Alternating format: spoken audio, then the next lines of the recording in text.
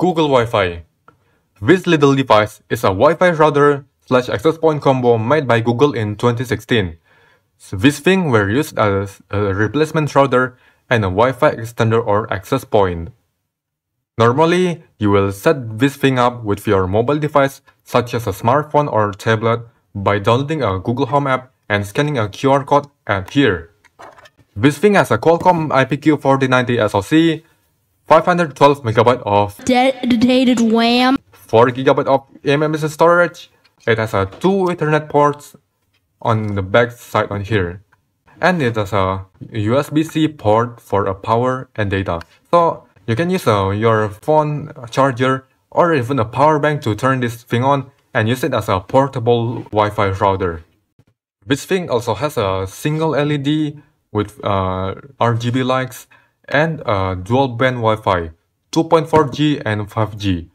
By default, this thing runs a modified stripped down version of Chrome OS, but you can easily replace it with another firmware like OpenWRT and add more features to this thing, like uh, a, a VPN client and an audio player or even running a Docker container in this thing. All you need to do is prepare a flash drive, download two image, download OnHub recovery utility, erase the flash drive, write the stock image to USB drive, wait until it finished writing, wait until it finished verifying. Now unplug your flash drive, hold the reset button, and plug the USB-C hub with power source and USB drive into Google Wi-Fi while still holding the reset button for 16 seconds.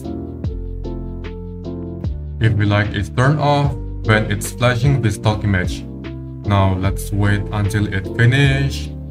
Once you see this pulsing blue light, unplug any cable connected to it, then use a screwdriver to unscrew a single screw, then use a guitar pick to open the bottom case.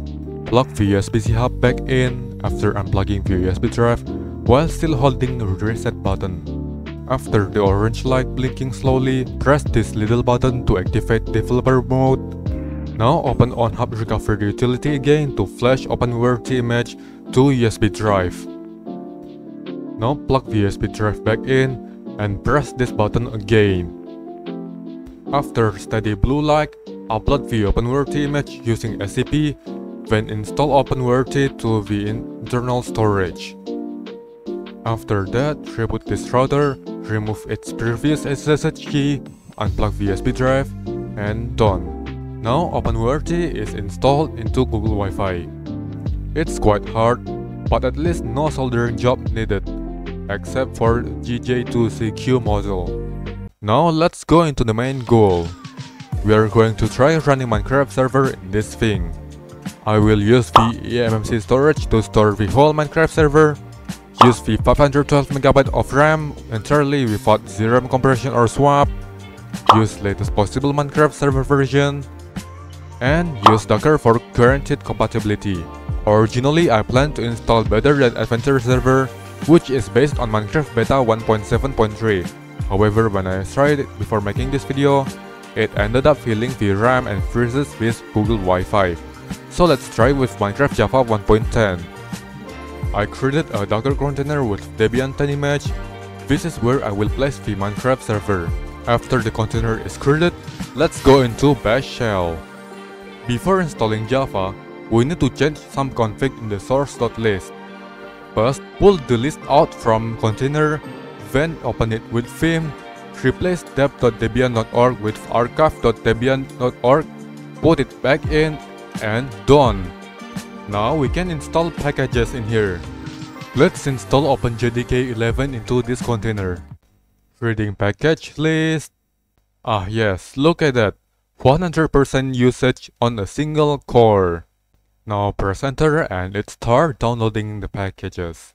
The CPU utilization is a bit higher since I have Cloudflare Warp running in this thing. It will not affect the Minecraft server performance though since the server is not exposed to the public internet. Now it's unpacking the packages.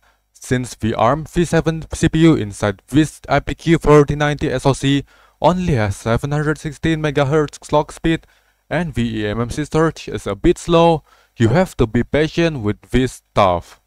A few moments later. Now Java is installed. The next thing is download a Minecraft server.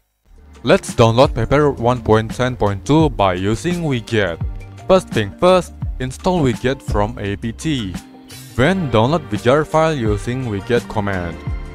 Once the server is downloaded, let's check the container IP address first. The IP address is 127.17.0.2. Now we will start this server. While waiting for the startup process, let's configure some firewall rules in here. Make sure to choose LAN as source zone and Docker as destination zone.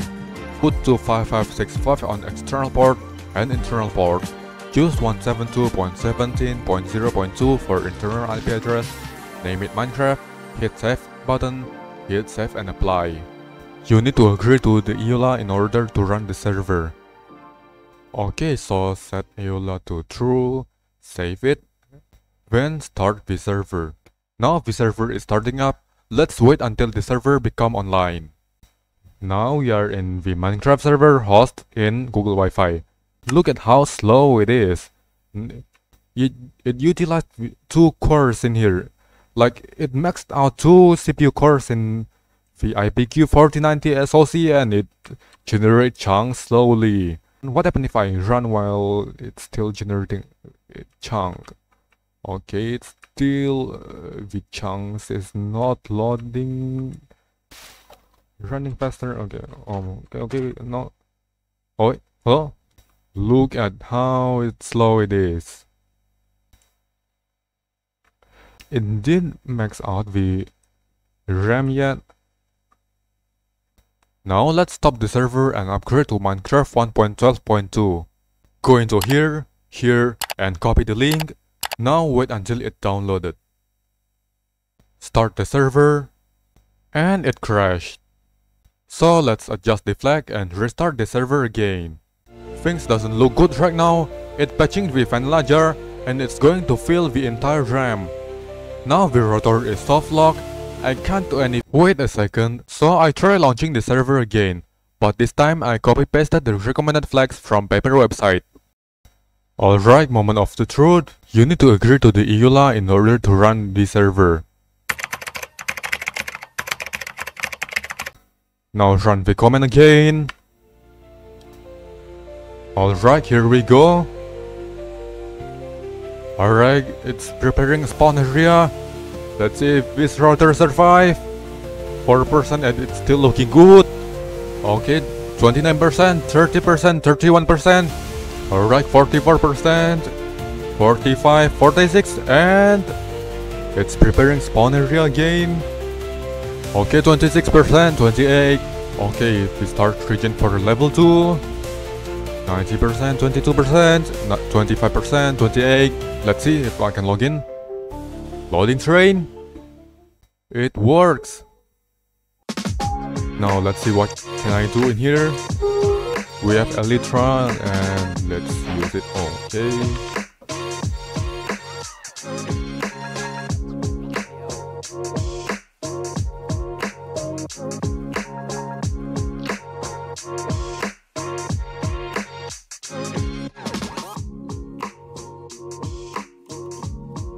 right? We are using about oh my god, oh.